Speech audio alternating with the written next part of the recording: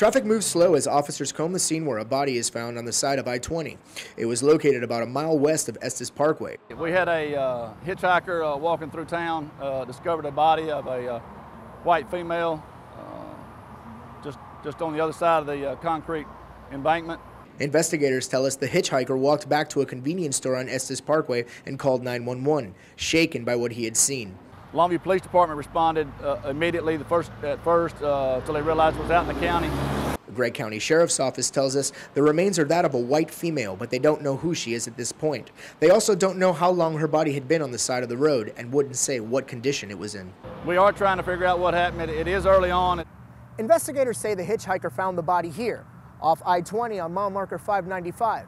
Police are not releasing any new information at this time, but they haven't ruled out foul play. We don't have a lot of answers right now. Officers were taking photos and measurements of where the body was located in case a vehicle was involved. We are trying to, uh, early on in the investigation, piece things together, and see what happened. In Longview, Gregg County, Richard Trellis, KYTX, CBS 19 News.